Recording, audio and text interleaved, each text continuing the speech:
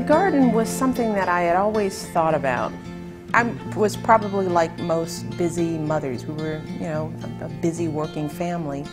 And I would find it difficult to feed my family in a healthy way uh, quickly. So I decided to change our diet.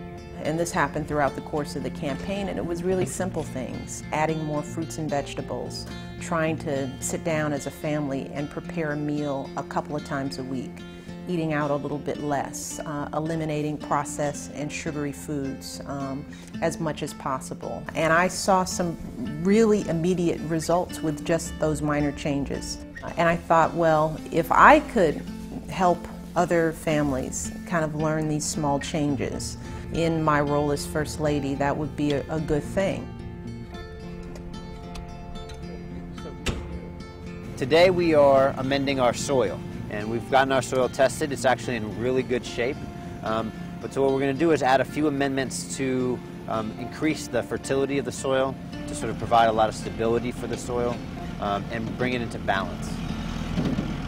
It's basically setting the foundation that we'll build on for years, years to come.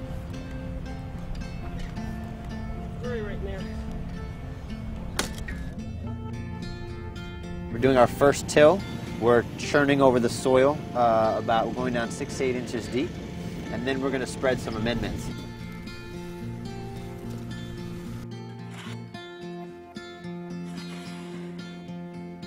We're going to use um, some sulfate of potash, which is basically add some sulfur. We have crab meal, uh, which is going to add uh, our calcium and uh, nitrogen, which is absolutely critical. Um, and our crabs are sourced from the Chesapeake, so uh, we're all we're keeping it in the region. Guess what that means? No work, no spuds. No work, no turnip, no tank, no flying fortress, no victory. Bear that in mind, all you victory gardeners, and work for victory. This is the first uh, vegetable garden since Eleanor Roosevelt's Victory Garden in World War II. When we look back at the so the records, was actually had a really tough time getting it established, and in the end, it was a plot, you know, probably about the size of one bed that we have here, that one of the daughters of somebody who worked here tended to. So, as a sort of really productive, you know, feeding a lot of people garden, uh, this is the first one in well over 100 years. The seeds uh, that we're using from, from Monticello that Thomas Jefferson had passed down were given to us by Peter Hatch, who's the head gardener at, at Monticello. Thomas Jefferson has more than any one man changed the way we eat uh, in this country and the way we, we, the way we grow food. When his ambassadors would go out all over the world, he would ask them to bring back seeds. And he's the first person to start seasonal growing. That is something that people are really sort of coming back to now and thinking about ways to you know use a diversity of crops and keep growing throughout the year. People were uh, uniformly excited about trying to make this happen.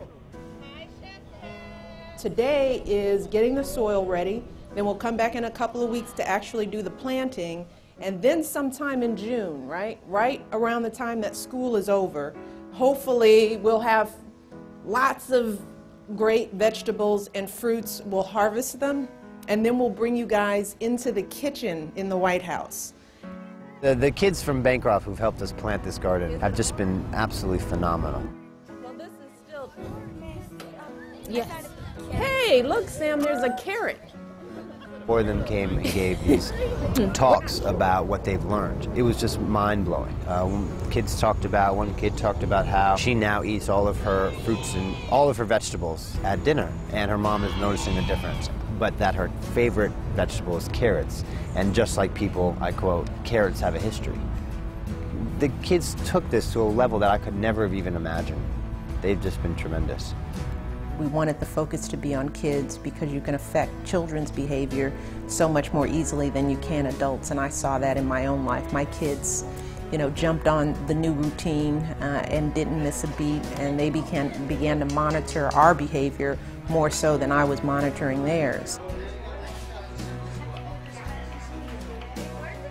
And also I want to encourage people to think about um, doing more family meals.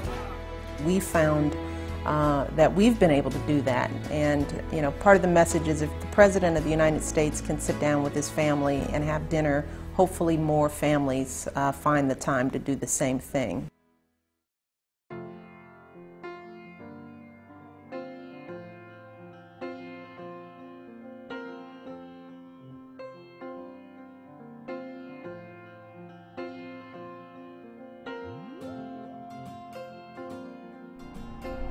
Here. Smell this. Peppery.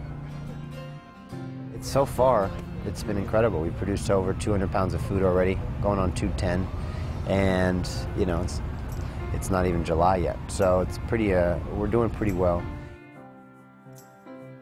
Our first major dinner was a, a, small dinner of like 20 of the sort of nation's top economic advisors and thinkers, and we did the the whole first salad was was completely out of the garden.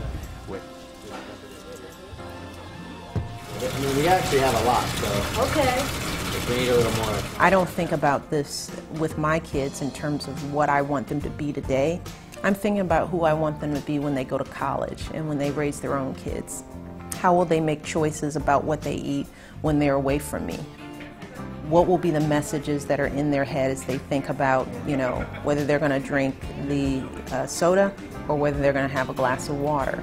How will they um, engage their own children in these messages early on so that uh, these become habits that are just a part of life and not something that you have to change in midstream. So the garden is really uh, an important introduction to what I hope will be a new way um, that our country thinks about food. Um, uh, so that's you know that's that's the story of the garden, and it's been uh, quite an amazing success, if I do say so myself.